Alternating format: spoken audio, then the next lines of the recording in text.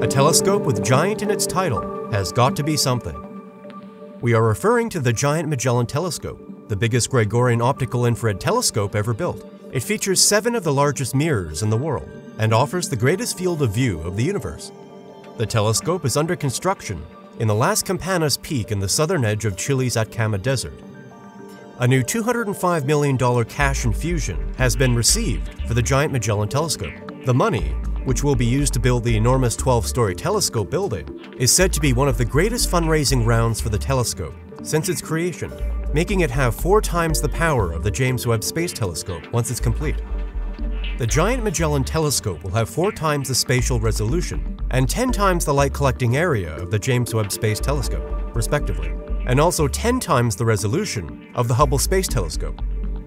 According to the Giant Magellan Telescope Organization, during the past few years, the telescope's construction has made substantial progress. The Giant Magellan Telescope is regarded as the space exploration of the future. The James Webb Space Telescope, which recently wowed the world with its astonishing resolution, will be outclassed by this telescope, which will use seven of the largest mirrors in the world to create the most detailed images of the universe ever captured. The 25.4 meter primary mirror array is made up of seven mirrors with a diameter of 8.4 meters and weighs 18 metric tons. However, the Giant Magellan Telescope will advance things. The 368 square meter total light collection area will provide pictures crisp enough to distinguish the flame carved on a cent from over 99 miles or 160 kilometers away. The telescope mount is 65 meters long, 39 meters tall, and 2,100 tons in weight.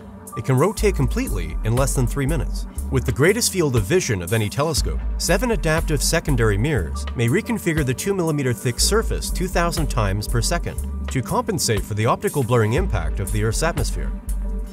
In other words, the telescope is poised to be a technological wonder and establish a new standard for space observation. The Giant Magellan Telescope Organization claims that the JWST will benefit greatly from exceptional angular resolution paired with novel spectrographs and high contrast cameras of the GMT. So, as always, if you want to learn more about space and NASA's James Webb Space Telescope, like, subscribe, check our previous videos, and visit our website if you love reading at www.nasaspacenews.com. Thanks for watching.